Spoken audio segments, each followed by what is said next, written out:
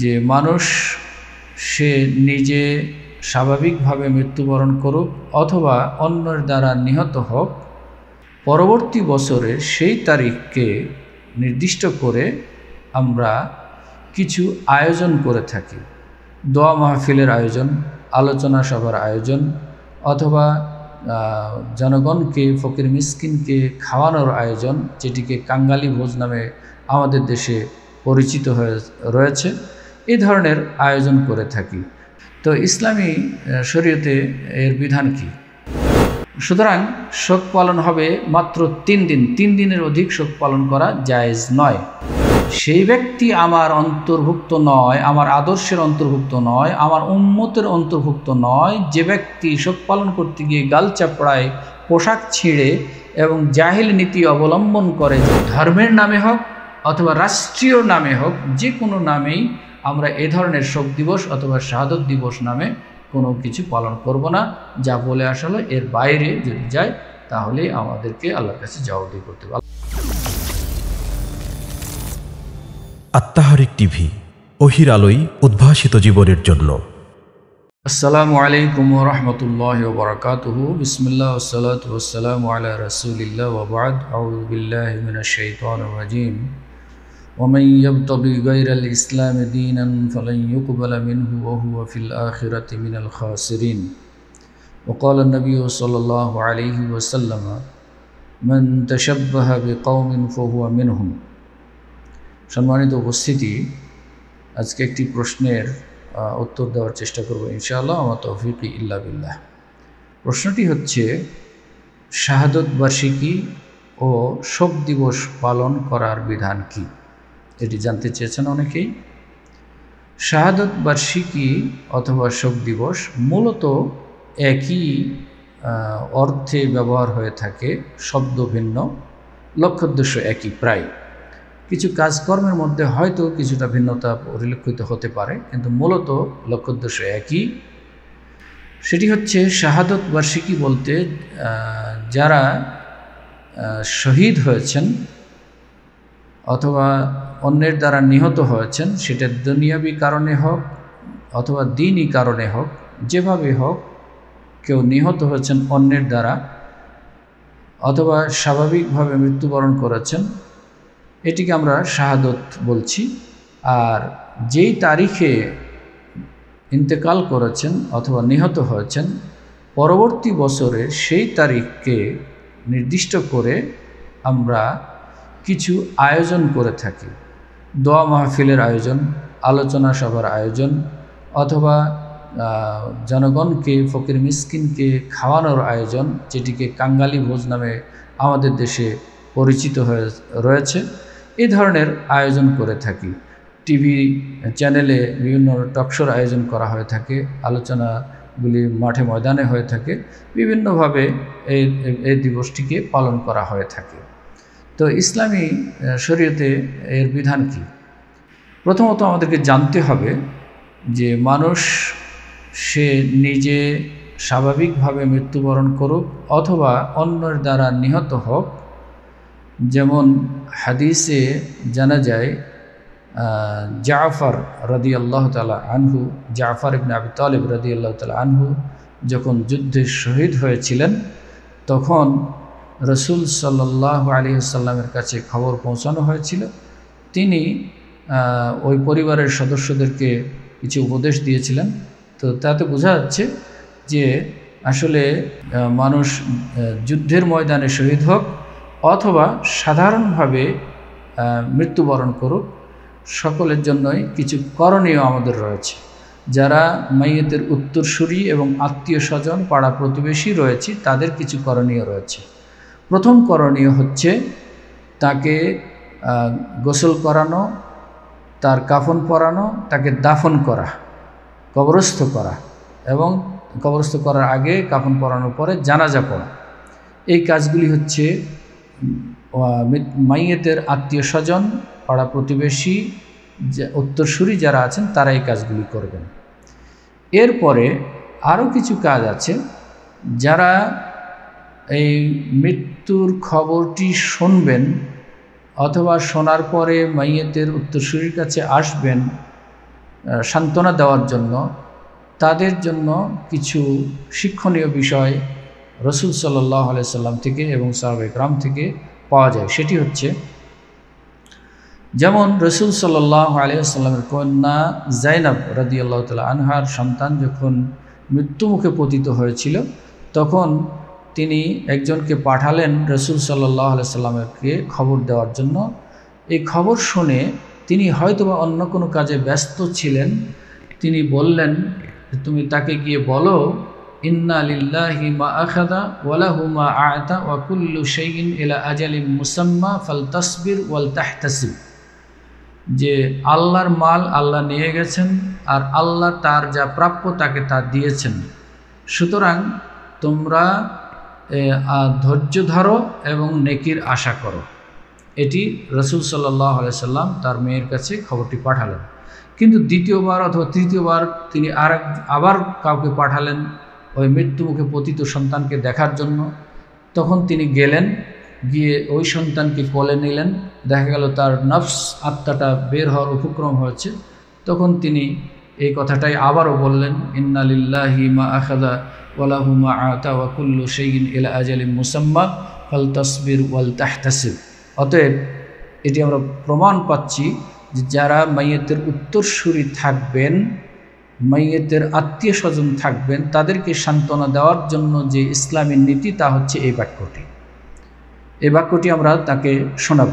এই হাদিসটি বর্ণিত হয়েছে, সহি বুখারি এবং মুসলিমে হাদিসটি বর্ণিত হয়েছে।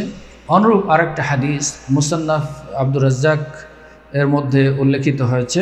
হাসান রাদি আল্লাহ তালা আনহুর কাছে যখন কোনো মৃত্যু সংবাদ পৌঁছত, তখন তিনি ওই আহলে মেয়েতের জন্য মেয়েতের উত্তরসূরি যারা আছেন তাদেরকে এই বাক্যটি বলতেন, সান্ত্বনা দিতেন যে আজম আল্লাহ আজরাকুম ও গাফর আল্লাহলি সাহেবিকুম আউলি মেয়েতিকুম আল্লাহ তোমাদের নেকি বৃদ্ধি করে দেন এবং তোমাদের এই মাইয়েতকে মৃত ব্যক্তিকে আল্লাহ ক্ষমা করুন। এটি বলতেন।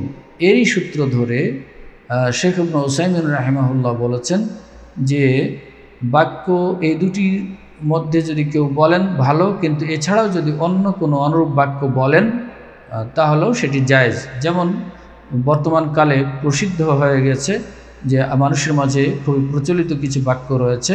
তার মধ্যে তিনি উল্লেখ করেছেন, আরব বিশ্বে যেগুলি আছে আজম আল্লাহ আজরাক ও আহসান আল্লাহ আজাক ও গাফর আল্লাহুল ইমাইয়েতে এই তিনটি বাক্য, যে আল্লাহ তোমার নেকি বৃদ্ধি করুন এবং তোমার ধৈর্য, তোমার বিপদকে, তোমার শোককে আল্লাহ উত্তম শোকে পরিণত করুন এবং তোমার মাইয়েতকে আল্লাহ ক্ষমা করুন, মাফ করুন। এই বাক্যগুলির মতো বা অনুরূপ কোনো বাক্য বলা যেতে পারে বলে তিনি ফতোয়া দিয়েছেন।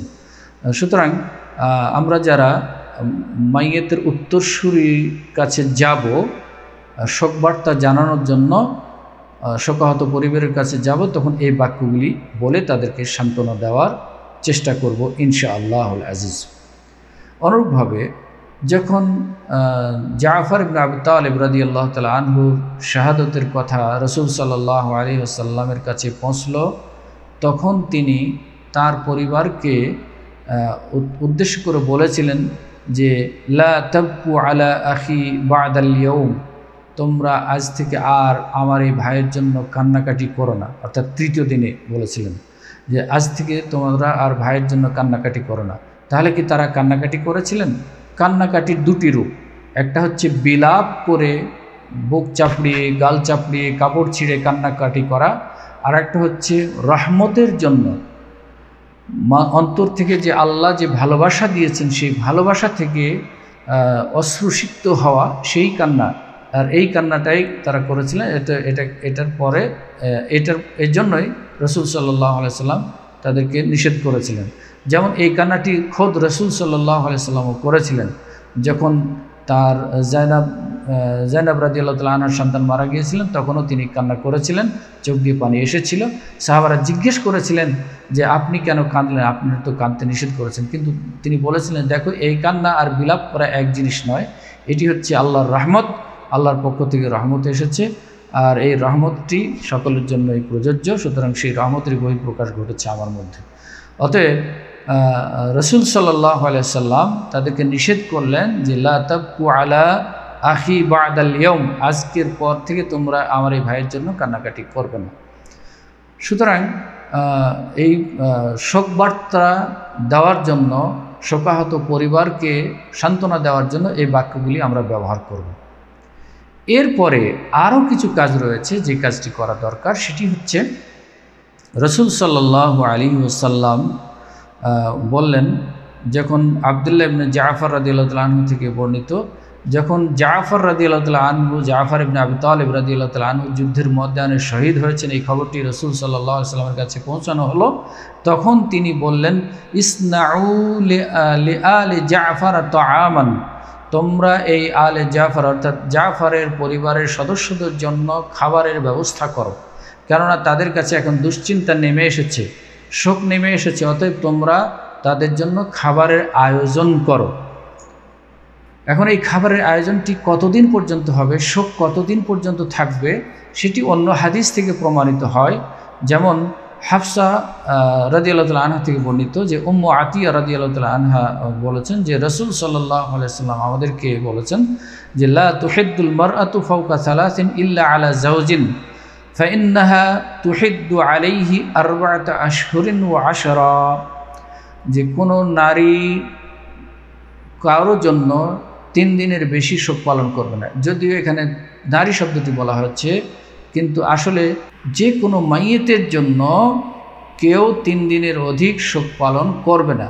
আর নারীদের ক্ষেত্রে বিশেষ করে বলা হচ্ছে যে নারীরা যদি তার আত্মীয় স্বজন কেউ মারা যায়, তাহলে তিন দিন শোক পালন করবে। কিন্তু যদি স্বামী মারা যায়, তাহলে চার মাস দশ দিন শোক পালন করবে।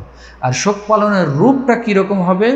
কান্নাকাটি করে বিলাপ করে নয়, বরং শোক পালনের রূপ হচ্ছে, সে সৌন্দর্যের পোশাক পরবে না আতর সুগন্ধি পরবে না, ওই বাড়ি থেকে অন্যত্র যাবে না। এটি হচ্ছে আসলে মেয়েদের জন্য শোক পালনের একটি রূপ। সুতরাং শোক পালন হবে মাত্র তিন দিন, তিন দিনের অধিক শোক পালন করা জায়েজ নয়।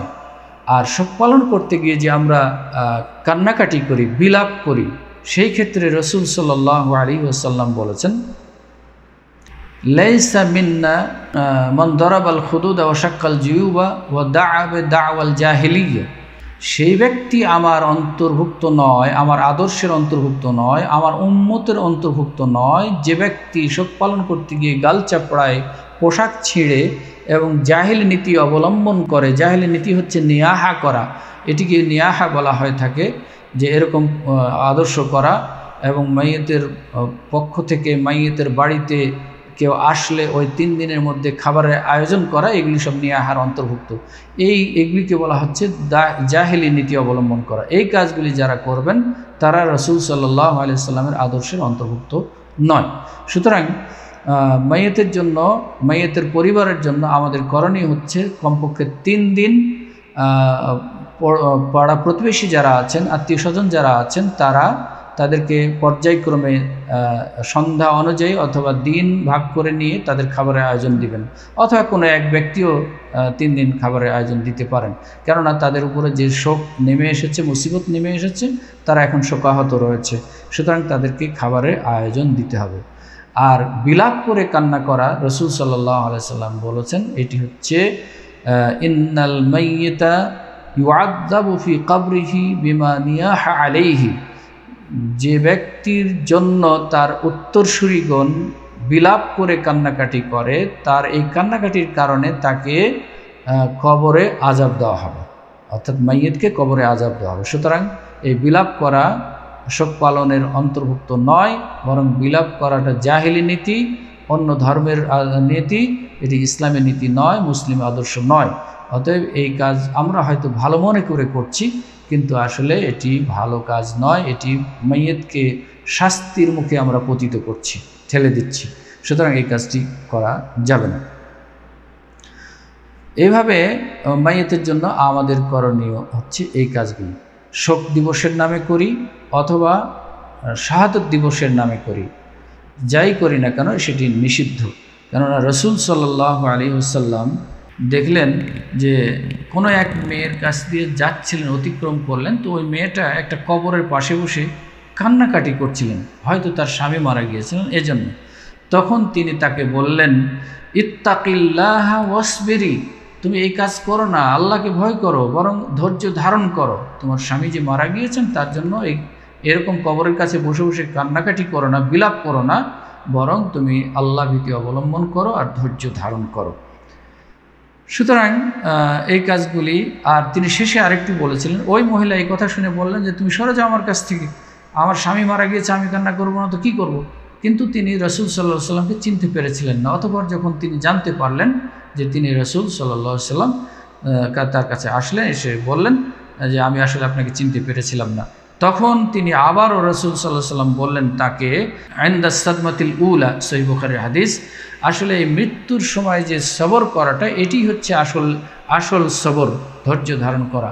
সুতরাং এখনই তুমি যদি ধৈর্য ধারণ করতে না পারো, তাহলে আর কোথাও ধৈর্য ধারণ করতে পারবে না। সুতরাং এটি হচ্ছে আমাদের শিক্ষণীয় বিষয়। এখন শোক পালনের নামে, শোক দিবসের নামে সে যে বড়, যত বড়ই ব্যক্তিত্ব হোক না কেন যত বড়ই নেতৃত্ব হোক না কেন, যত বড়ই প্রসিদ্ধ ব্যক্তি হোক না কেন, আমরা যেগুলি শুনে আসলাম, এর বাইরে অন্য কোনো পন্থায় যদি শোক দিবস পালন করা হয় অথবা শাহাদত বার্ষিকী পালন, নামে পালন করা হয়, তাহলে সেটি ইসলামী শরীয়তের অন্তর্ভুক্ত হবে না। অতএব এখান থেকে আমাদেরকে ফিরে আসতে হবে। এতে কেন হবে না? রসুল সাল্লাহ আলাইসাল্লাম বলেছেন যে মান তেসাব্বাহাবে কৌমিন ফহুয়া মিনহুম, এটি যেহেতু কোনো মুসলিমদের আদর্শের অন্তর্ভুক্ত কাজ নয়, সুতরাং এই কাজটি অন্যদের কাজ। অতএব অন্যদের নীতি যে অবলম্বন করবে, সে তাদেরই অন্তর্ভুক্ত হবে, রসুল সাল্লাহ সাল্লামের অন্তর্ভুক্ত হবে না। হাদিসটি আবুদাউদে বর্ণিত হয়েছে। অতএব এই কাজটি ছেড়ে দিতে হবে। আরেকটা হাদিস, রসুল সাল্লাহ আলাইসাল্লাম বলেছেন মানে ফহুয়ারদ্দন যে এমন কাজ করল, যে কাজের পক্ষে আমাদের কোনো নির্দেশনা নেই, সেই কাজটি আল্লাহর কাছে গ্রহণযোগ্য হবে না, তার কাছে ফেরত দেওয়া হবে। আর এটিকে যদি নতুন আবিষ্কার মনে করি, তাহলেও রসুল সাল্লাহ সাল্লাম বলেছেন, মান আহদাসাফি আমরিন আহাদা মা আলাইসামিন হু ফহুয়ারদ্দন যে ব্যক্তি আমাদের এই নির্দেশনার মধ্যে নতুন কিছু আবিষ্কার করল, যা আমাদের আদর্শের অন্তর্ভুক্ত নয়, যা আমাদের নির্দেশনার অন্তর্ভুক্ত নয়, তা তার কাছে ফেরত দেওয়া হবে, আল্লাহর কাছে গ্রহণযোগ্য হবে না। সুতরাং এটি ইসলামী নীতি নয়, এটি মুসলিম নীতি নয়, আর আল্লাহ রাবুল আলম বলছেন ওমাই ইয়াবতগি গাইর আল ইসলামে খাসরিন কেউ যদি এটিকে ইসলামের নীতি হিসাবে গণ্য করার চেষ্টা করেন, তাহলে আল্লাহ বলছেন, যে ব্যক্তি আমার এই দিনকে বাদ দিয়ে অন্য কোনো আদর্শকে দিন হিসাবে গ্রহণ করবে, আল্লাহ রবুল্লা আলমিন তার কোনো আমল কখনোই কবুল করবেন না। সুতরাং এ ধরনের কাজ কারবার থেকে আমাদেরকে ফিরে আসতে হবে। আরেকটি বিষয় মনে রাখতে হবে, এই শোক পালনের নামে যে আমরা অপচয় করি, সেখানেও আমাদেরকে জবাবদিহি করতে হবে। অপচয় করি কীভাবে? রাষ্ট্রীয়ভাবে করি, ব্যক্তিগতভাবে করি, সামাজিকভাবে করি, সাংগঠনিকভাবে করি অপচয়। এ অপচয় করার কোনো যৌক্তিকতা নেই। অপচয়, অর্থ ব্যয় করি বড় ধরনের খাবারের আয়োজন করি, কাঙ্গালি ভোজের আয়োজন করে থাকি, স্কুল মাঠে, কলেজ মাঠে ফুটবল খেলার মাঠে বিভিন্ন জায়গায় বিভিন্ন প্রতিষ্ঠানের সামনে এ ধরনের আয়োজন করা হয়ে থাকে। এই ধরনের আয়োজনগুলি সবগুলি অপচয়ের অন্তর্ভুক্ত, ইসরাফের অন্তর্ভুক্ত। আল্লাহ রবুল্লা আলম বলেন, কুলু ওশরাবু ওয়ালা তুসরিফু। ইন্নআল্লাহ হেবুল মুসরিফিন। তোমরা পানাহার করো, কিন্তু এই ক্ষেত্রে ইসরাফ করো না। ইসরাফ করো না মানে অতিরঞ্জন করো না। কেননা আল্লাহ রব্বুল্লাহ আলমিন অতিরঞ্জনকারীদেরকে পছন্দ করে না। ইন্নাল মুবাদ্দিন কানু এফওয়ানা শায়াতিন।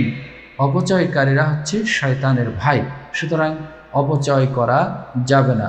বৈধ কাজেও অপচয় করা যাবে না, অতিরিক্ত খরচ করা যাবে না, আর অবৈধ কাজেও খরচ করা যাবে না। অবৈধ কাজে খরচ করাটাকেও ইসরাফ অন্তর্ভুক্ত করা যেতে পারে, অথবা তবজিরের অন্তর্ভুক্ত করা যেতে পারে।